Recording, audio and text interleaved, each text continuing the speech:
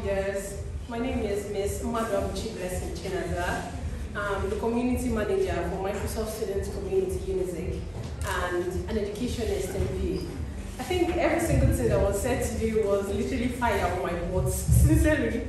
But one of the things that stood out for me most is when you spoke about women and the, the, that transitional stage of giving birth and you being not able to pursue your dreams again because you just want to recline to the back and then train your children. I think the major point he hit on women and them chasing their goals and them accepting the reality that, okay, this thing is a stages and they're going to come really stood out to me.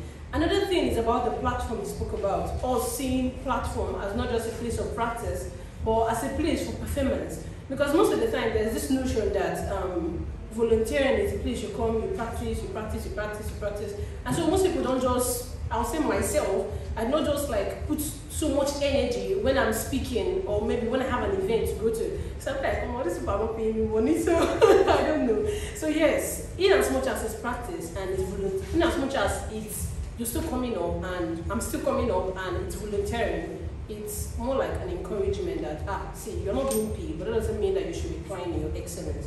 So these are what stood out to me.